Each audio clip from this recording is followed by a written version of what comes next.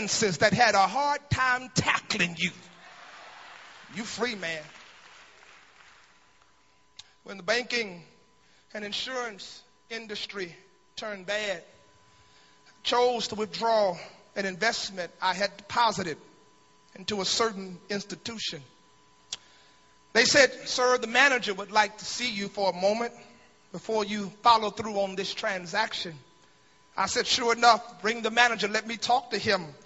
And he tried to convince me to leave my investment in their bank. And I attempted to tell the manager, listen now, when I made the deposit, I never intended for you to keep it. It's my deposit.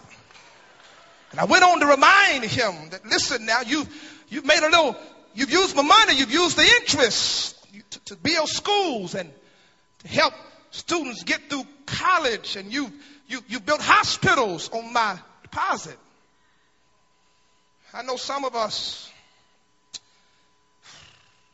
we don't want to see Mac go. But he was God's deposit. I know many of us are mad that he's gone. But God says, I never intended for you to keep it. He always belonged to me. But we come tonight to give God thanks for the interest.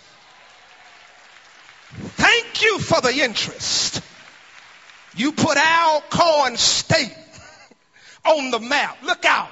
Alcorn on the front of Sports Illustrated. Thank you for the interest.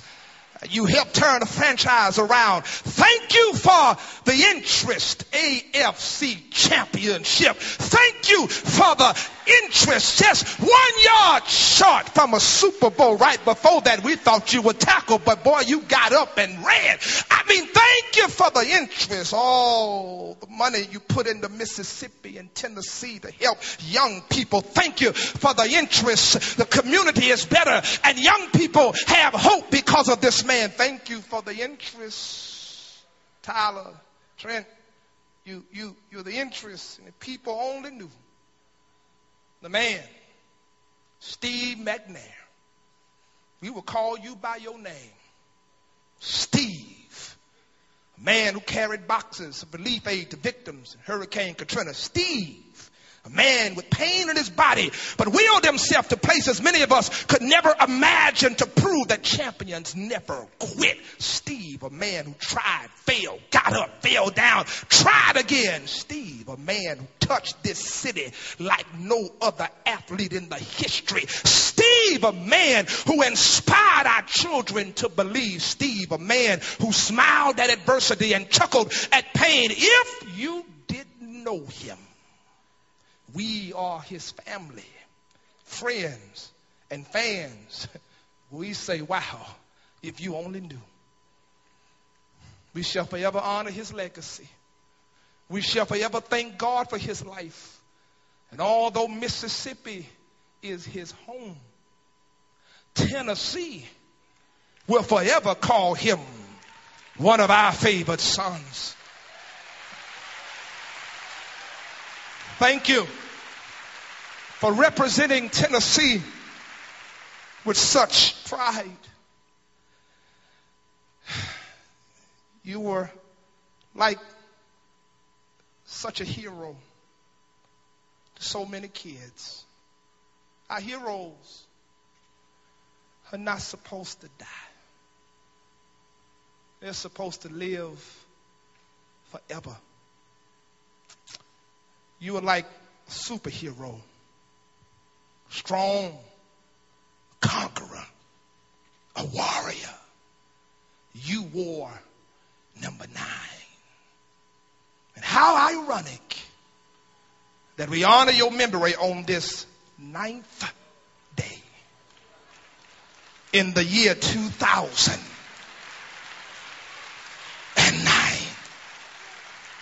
Warrior Eddie has fallen. True titan. Remember, Tyler, the day my hero died. Trent, I remember the day when I was a little boy that Batman died.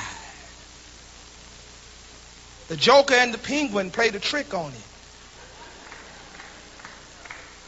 They took Batman and took his utility belt. They had Robin locked up in the safe. And they had Batman in a building. Time bomb was ticking. And the TV played that unkind trick to be continued. I went to school the next day because I love me some Batman. I had a Batman hat, Batman bike, Batman notebook, Batman pencil. I love me some Batman. And I went to school the next day and the teacher was teaching, but I have to tell you, all I thought about was how Batman was going to get out of this. And after the last bell rung, I didn't even catch the bus. I beat the bus home, running home because I wanted to know how was Batman going to get out of this?